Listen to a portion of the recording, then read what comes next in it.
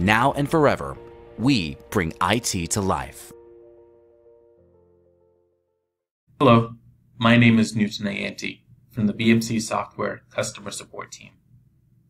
Today we will review configuring and using an automation principal in BladeLogic Server Automation for user mapping on a Windows target. Here, we have an automation principal configured named test user 01. This stores the username and password for a Windows local user, which I created on our test target. Here in the property dictionary, we also have a new server property which has been created of the automation principal type named AP underscore prop1. This property will allow one to change which automation principal is used with any given target. Our current role, BLAdmins, has also been updated. In the Windows configuration portion of the Agent ACL tab, the role is configured to use our new server property, AP underscore prop1, to determine the automation principal to use. Here the option is also available to assign a specific automation principal for the role to always use. When configuring this option for a role, be sure to review each option to determine which may work best for your use case. Next, we'll take a look at the configuration of our target server. In the server properties view, we can now see our new property, ap underscore prop1. We will now set a value for this property. We selected an instance of the new automation principal we created for this demonstration, test user 01.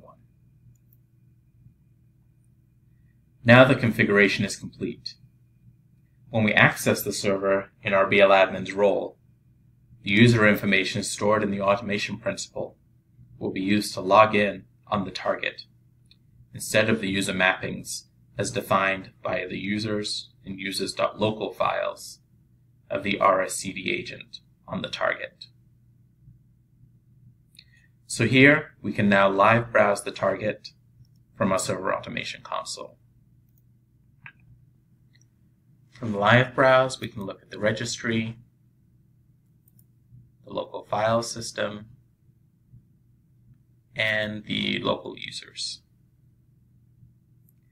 Now we've com completed a few live browse actions we can take a look at the RSCD log, confirm that our automation principal information was used to complete the browse operations.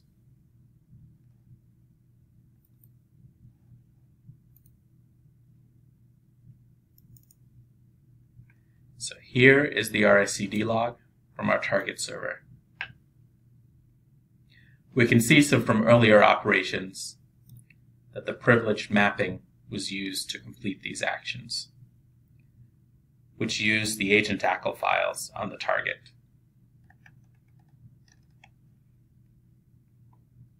Here, we can see from our more recent actions after configuring the automation principal that instead of the privileged map message, we see the password logon message. This confirms for us that the automation principal detail was used. We can see that our local user, test user one, at our target server was used to log in to complete each of these operations, such as browsing the file system, retrieving local users, and gathering GPO policy information. Thank you for watching this demonstration for configuring and using automation principals within BladeLogic Server Automation.